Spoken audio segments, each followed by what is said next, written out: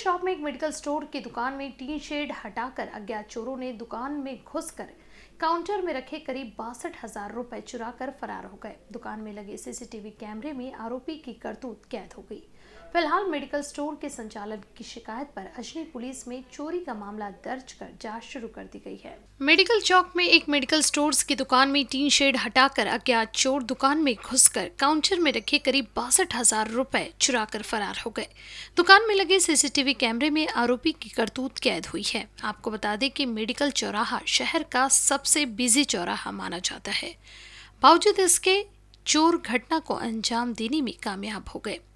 Medical store संचालक की शिकायत पर अजनी पुलिस ने चोरी का मामला दर्ज किया है। पुलिस के अनुसार मेडिकल चौक में गायत्री एनक्लेव, रेशमबाग निवासी प्रमोद चेटे की उन्नति मेडिकल नामक दुकान है। दुकान में अलग अलग पारी में करीब 12 नौकर काम करते हैं। ये दुकान रोज़ाना सुबह 6 बजे से रात 12 बजे तक शुरू रहती थी। बुधवार की रात भी दुकान में काम करने वाला नौकर राहुल घोड़मारे दुकान में जमा हुई रकम करीब इकसठ हज़ार नौ सौ चौरासी रुपए काउंटर में रखकर घर चला गया। गुरुवार को सुबह छह बजे नौकर सूरज पाटिल, प्रफुल्ल लोखंडे आदि के आने पर दुकान में कैश काउंटर पर रखी रकम दिखाई नहीं दी, जिसकी जानकारी उन्होंने दुकान प्रबंधक जानराव ठाकरे को फ़ोन पर दी। ठाकरे ने दुकान मालिक प्रमोद चेंडे को सूचना की जानकारी दी। जानकारी पता चलने पर सीसीटीवी चेक किया गया, जिसमें टीन शेड को खोलकर अज्ञात चोर दुकान में घुसते हुए नज़र आए। फ़िलहाल इस मामले की शिकायत अजनी पुलिस में की गई है। मेरा नाम जानदराव गोपाल राव ठाकरे है। मैं यहाँ पे दो महीने से काम कर रहा हूँ। मेरे फर्म का नाम है उन्नति मेडिसिन पॉइंट। ये मेडिकल चौक में है। यहाँ पे मेडिकल कॉलेज का जो बंद गेट है, उसके बाजू में हमारी दुकान है। यहाँ पे सत्ताईस तारीख की रात को चोरी होगी, ऊपर से चोर आया और उसने हमारे यहाँ पे आके पैसे लेके ये गले से पैसे निकाल के लेके गया। हमने सौ नंबर पे मॉर्निंग में हमारे जो लोग यहाँ पे आए वर्कर्स उन्होंने हमें बताया।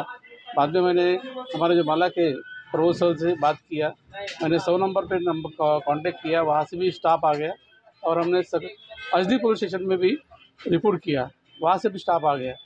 हाँ जो गवर्नमेंट कॉलेज का जो कंपाउंड वाले वहाँ से ऊपर गए उन्होंने टीन निकाल दिया और टीन से जो हमारी पीओपी है, वो फोड़ के नीचे आ गए। फ़र्स्ट फ्लोर से नीचे आके नीचे आके और यही गले पे आके यहाँ से पैसे लेके गए वो। अभी तक तक तो समाधान है, वो बोले कि हम पकड़ के लाएँगे।